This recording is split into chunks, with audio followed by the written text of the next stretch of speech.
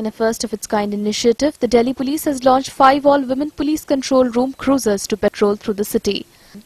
This comes as a shorthand relief to the national capital which has been facing a high rise in the rates of crimes against women.